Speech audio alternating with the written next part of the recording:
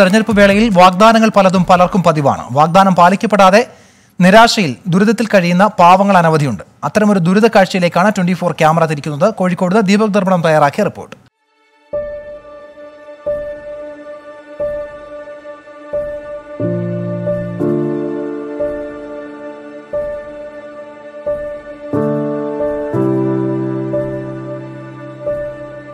ഈ തദ്ദേശ തെരഞ്ഞെടുപ്പ് റിപ്പോർട്ടിംഗ് യാത്രക്കിടയിൽ ഞങ്ങൾ കണ്ട അനവധി ദുരിത കാഴ്ചകളിൽ ഒന്നാണിത്. കോഴിക്കോട് ചാത്തമംഗലം പഞ്ചായത്തിലെ ഇരുപത്തിമൂന്നാം വാർഡിലാണ് ഈ ദുരിത കാഴ്ച മഴ പെയ്യല്ലേ കാറ്റൊന്നു വീശല്ലേ എന്ന പ്രാർത്ഥനയിലാണ് ഓരോ രാത്രിയും ഇവർ എണ്ണി നീക്കുന്നത് മലയുടെ മുകളിലെ ഈ രണ്ട് കുടുംബങ്ങൾക്കും തീരാ ദുരിതമാണ്. ഇതുപോലെ എത്ര പേർ എവിടെയൊക്കെ? അടച്ചുറപ്പുള്ള ഒരു വീട് വേണമെന്നതാണ് ഇവരുടെ ആവശ്യം. മഴ നനയാതെ ഒന്ന് കിടന്നുറങ്ങണം. കൂലിപ്പണിക്കാരായ മണിയും ഭാര്യ സുസ്മിതയും കയറാത്ത സർക്കാർ ഓഫീസുകളില്ല. മുട്ടാത്ത വാതിലുകളില്ല.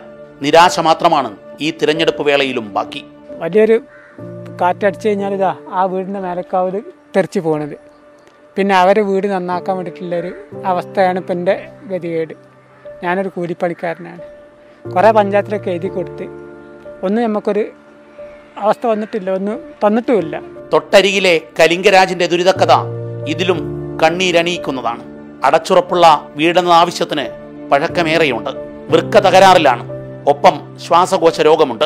മരുന്ന് വാങ്ങാൻ പോലും വകയില്ല. മഴ വന്നാൽ വീടൊക്കെ ചോരുക ഭയങ്കര ചോരുന്നുണ്ട്. പിന്നെ ഇവിടെ എവിടെ സഹായം ചോദിച്ച് നമ്മൾ പോയാൽ സഹായിക്കാൻ ഇപ്പോൾ അങ്ങനെ ആരും ഇല്ലല്ലോ.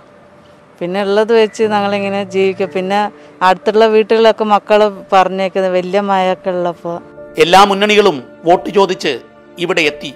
പതിവ് പോലെ പ്രതീക്ഷ നൽകിയാണ് മടങ്ങിയത്. അവസാനവട്ട തെരഞ്ഞെടുപ്പിന്റെ പോളിംഗ് സ്റ്റേഷനിലേക്ക് പോകുന്ന സ്ഥാനാർത്ഥികളോട് ഒരഭ്യർത്ഥന. ഇവരുടെ കണ്ണീരെങ്കിലും ഒപ്പാൻ കഴിയണം. സുമനസ്സുകളുടെ കാരുണ്യത്തിനായി അഭ്യർത്ഥിച്ചുകൊണ്ട് cameraman Mahesh കുമാറിനോടൊപ്പം Deepak Dharmadam twenty four.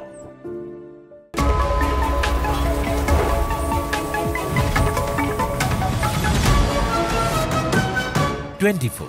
രണ്ട് വർഷത്തിന്റെ നിറവിൽ